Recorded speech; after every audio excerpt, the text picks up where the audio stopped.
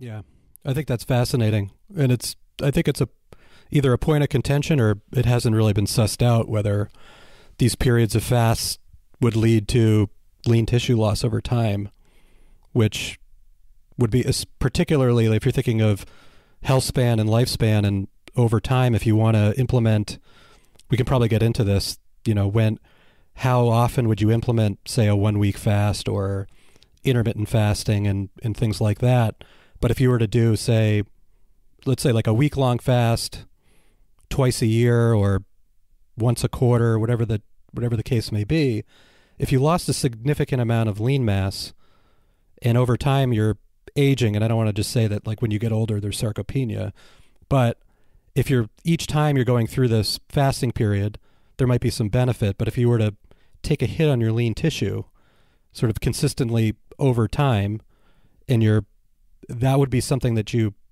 you know you want to sort of jealously preserve is all that lean mass. So that would be one of the you know potential contraindications of doing frequent fasts. Yet if you if you can preserve that lean tissue i think that would be it would be super important to to understand and find out. And i i think a lot of times when you look at the studies like cahill studies i the subjects it's a different population but i also think that they're not engaging in a lot of you know weight bearing activity.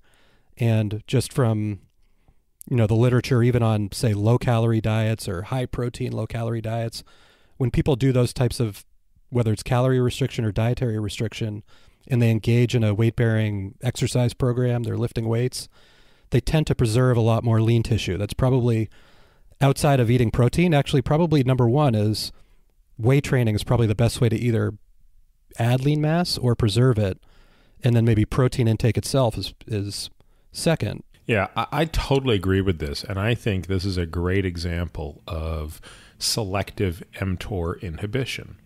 In an ideal world, you don't really want to turn off mTOR in the muscle. I mean, you don't want it on every minute of every day or you'll get muscular dystrophy. But the far bigger issue as we age is mTOR activity going down in the muscle. That's what's leading to sarcopenia.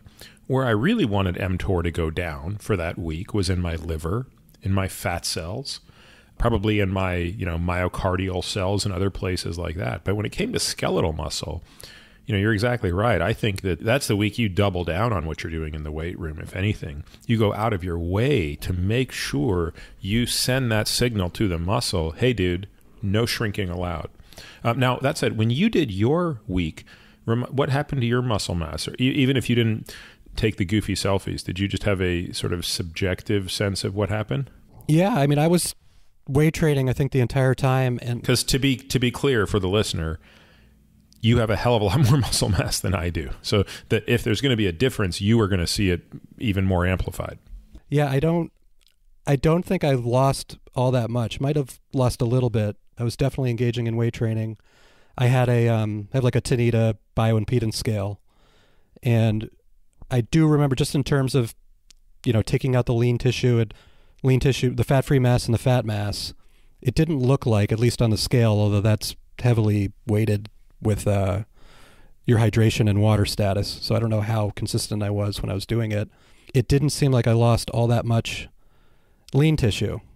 And I always think like if I were to do these experiments, that I might be different than other people, but the one thing like I don't want to do is just stop exercising. I think it'd be really hard for me to do like a week long fast and not exercise, but it would be I would suspect that you might lose more lean tissue that way. Completely speculative, but I didn't, and there was no similarly, but I don't think that I was doing what you do with those Peloton workouts.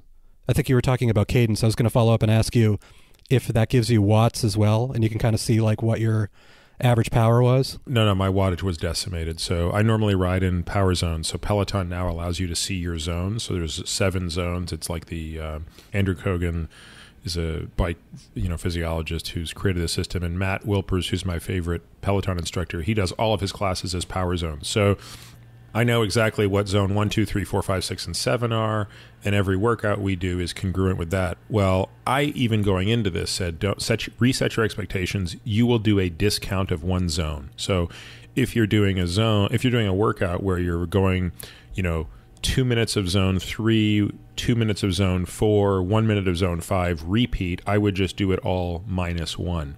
And even doing that, I could not keep up. So, in other words, relative to my former self, I was at least 60, if not 80 watts less capable. Uh, there was just no denying it. So, there was, you know, just a fraction of the ability to put out power on a bicycle. And that might just suggest two different types of demands on the muscle. You know, if you're doing a squat or a row or a deadlift, that's different. That's much harder. It's much you're asking much more of the sarcomere than if you're riding a bike per contraction. But on the bike you're asking for many, many, many more of those contractions. And there there was just something that I couldn't do on the latter that I seem to have no difficulty doing on the former.